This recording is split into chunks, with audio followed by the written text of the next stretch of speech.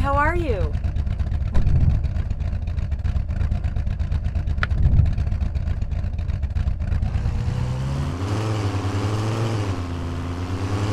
I love your car. Slow down!